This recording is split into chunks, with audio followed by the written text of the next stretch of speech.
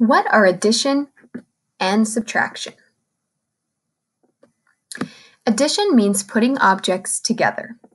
Let's say you have five lemons and you get three more. You can use addition to figure out how many lemons you have now.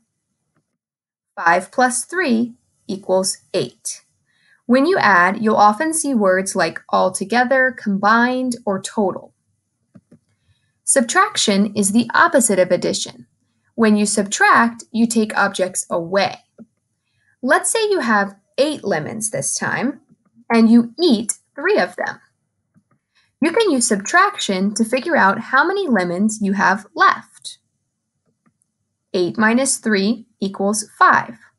When you subtract, you'll see words like take away, left, how many more, how many less. We can use base 10 blocks to model addition and subtraction of larger numbers, like the problem 125 plus 212. That's a lot of lemons, so yet let's use the blocks instead. I'm going to set up a place to keep track of all my hundreds blocks, tens blocks, and ones blocks. Keeping the hundreds together and the tens together and the ones together is going to make it easier to see my answer. When I add using the base 10 blocks, I'm going to start by making my first number, which is 125. 125 has five ones, so I'll put five ones blocks. It has two tens and one group of 100. That's the number 125. Now I'm going to add my second number, 212. I need to add two more ones, one more 10, and two more hundreds. Now what I have is my answer. I started with 125, I added 212 more, and now I have seven ones, three tens, and three hundreds. That's the answer, 337. Let's try a trickier one. This time I'm adding 238 plus 135. Once again, I'm going to set up a place to keep track of all my hundreds, my tens, and my ones. I'm going to start by making the first number 238. That's eight ones, 30, that's three tens, and 200. 238. Now I'm going to add the second number, 135. 135 has five ones, so I need to add five more ones. It has three tens, and it has another hundred. Whatever's left is my answer. So I see hundreds, tens, and ones here. I know I'm going to have an answer that has hundreds, tens, and ones. So let's see. I have 13 ones, 6 tens, and 3 hundreds. Hmm, that answer doesn't look quite right. I know I can't put a 13 in the ones place.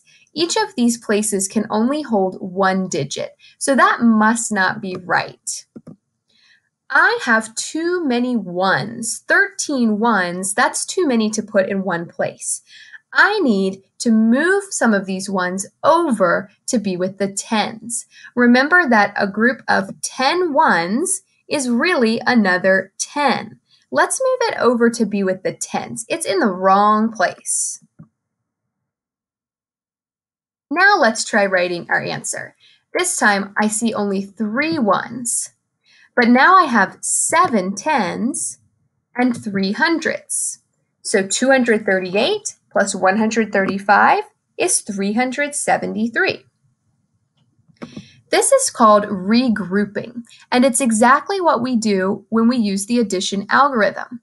Watch how it works using this strategy. Let's add the ones. 8 plus 5 is 13.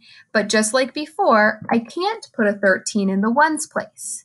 I put down the three ones, and I carry or regroup 10 of them over into the tens place and add a group of 10. Now I have seven tens and three hundreds. More on this strategy in the next lesson. Now, let's try subtracting with the base 10 blocks. Let's try 244 minus 113. Once again, I'm going to set up a place for my hundreds, a place for my tens, and a place for my ones. I'm going to start, just like I did before, by making the biggest number, the first number, 244. So I have four ones in the number 244. I also have four tens, and I have two hundreds. There's 244. But when I subtract, instead of adding blocks, I'm taking away blocks. So I need to take away 113. That means I'll need to get rid of three ones because 113 has a three in the ones place. I need to get rid of a 10 and I need to get rid of a 100. Whatever's left is my answer. I see one group of 100, three tens, and one one. That makes 131. But let's look at a subtraction problem with regrouping. This time, we're subtracting 415 minus 323. Just like in the last problem, I'm going to start by making the first number 415. That's five ones, a 10, and four hundreds. There it is, 415. And just like before, I'm going to take away the second number. This time, I'm taking away 323. 323 has a 3 in the ones place, so let's start by taking away three ones. Okay, that was easy enough. Now let's take away the two tens. 323 has two tens, so I need to take away two tens. Hmm, do you spot the problem? I only have one 10. How can I take away two tens if I only have one 10?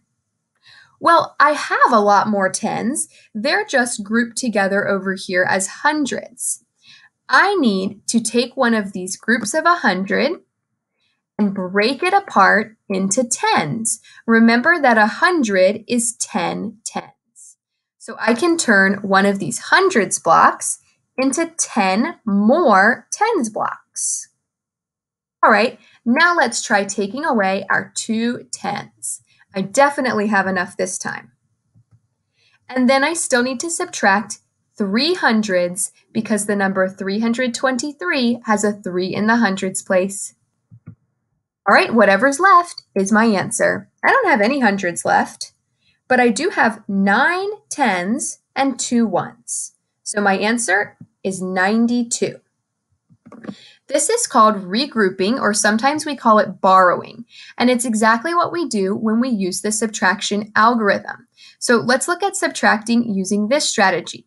We start with the ones, and that was easy. Remember, 5 minus 3 is 2. We didn't have a problem there. The problem came when we got to the tens. We couldn't take two tens away because we only had one 10. So remember what we did? We took away a group of 100, leaving three hundreds, and we broke it apart into 10 tens. And we added those 10 tens to the other 10 to make 11 tens. Then we could subtract. And when we did that, we were left with nine tens and no hundreds. So there's the answer again, 92.